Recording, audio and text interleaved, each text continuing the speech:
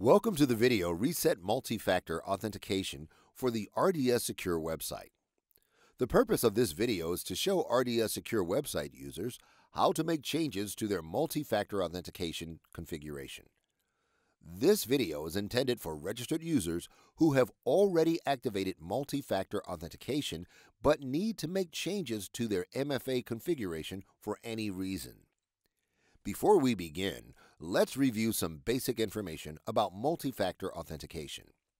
Multi-factor authentication, or MFA, also known as two-step or two-factor authentication, is a security enhancement that allows you to provide two pieces of evidence or factors to confirm your identity when logging in to your RDS Secure website account. These credentials fall into two categories something you know, that is, your login ID and password, and something you have, that is, your personal device. MFA helps protect you by adding an additional layer of security to your account, making it harder for someone else to log in as if they were you. Beginning in 2019, the RDS Secure website will require you to log in with your MFA configuration. You will be required to enter the time sensitive unique token in addition to your RDS login ID and password to access the secure website. CMS's RDS Center has implemented Google Authenticator as the independent token generation software for the secure website. Google Authenticator is a free, secure, independent third party token generator application or app. Updated federal security policies require that each RDS Secure website account must activate MFA prior to accessing the secure website.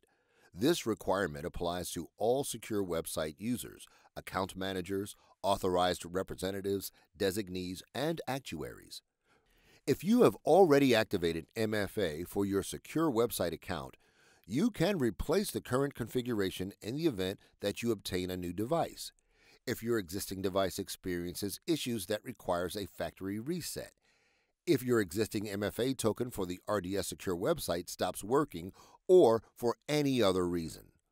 Once reset, tokens generated by previous RDS Secure website instances within the Google Authenticator app on your device will no longer work.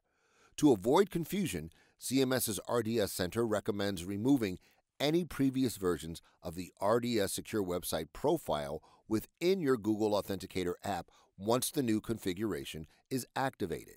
Refer to the instructions associated with your chosen device for assistance. Follow these step by step instructions to reset MFA on your device. Step 1 navigate to the RDS program website and select Manage MFA Settings. Step 2. On the resulting Validate Person Information page, enter the email address, date of birth, and social security number associated with your active account and select Continue. Step 3. On the resulting Manage Multi-Factor Authentication Settings page, select the Set up Google App button from within the Reset Google Authenticator settings box. Step 4. On the resulting Activate Multi-Factor Settings page, download Google Authenticator for your chosen device using the Android device or iOS device buttons and open the application once successfully installed. If you are on a phone or tablet, download Google Authenticator from your device's App Store. Note, if you already have Google Authenticator installed, skip the download and open the app already installed on your device. Step 5. Using the Google Authenticator app on your device, scan the QR code, also known as the barcode. The QR code, that is, Quick Response Code, is a barcode used by the RDS Secure website to associate your registered user account to the Google Authenticator application on your chosen device. Every time you navigate to the Activate Multi-Factor Settings page, a unique QR code is displayed. Note, before scanning the QR code, ensure you have granted Google Authenticator access to your device's camera. Refer to the instructions associated with your device for guidance. Select the plus sign. Select Scan Barcode. hold your device's camera up to your computer screen so that the QR code displayed in the secure website is within the outlined area on your device's screen. If you're having trouble scanning the QR code, unhide the secret key by clicking anywhere in the Select This box if you're having trouble scanning the barcode box. Select Manual Entry from the Google Authenticator app on your device. Then, manually enter the secret key into your Google Authenticator app. Step 6. Once your user account is successfully synced with Google Authenticator, either by scanning the QR code or by manually entering the secret key, Google Authenticator will be updated with a new entry for your RDS Secure website user account. The RDS Center recommends removing any previous instances of the RDS Secure website within Google Authenticator to avoid confusion. Step 7.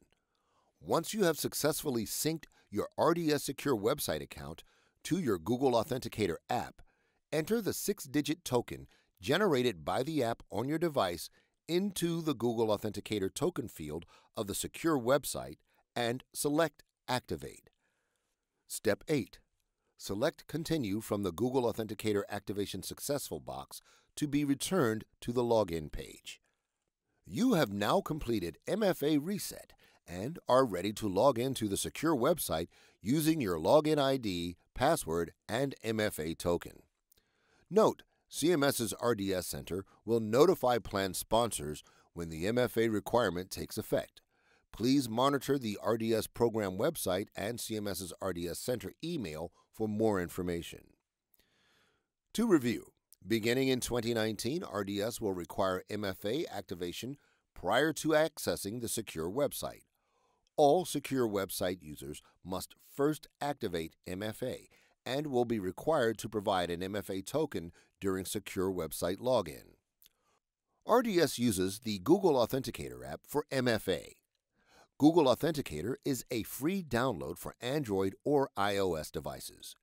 After activating MFA, if you need to reset MFA on your device for any reason, you may do so at any time by selecting Manage MFA Settings on the RDS program website homepage.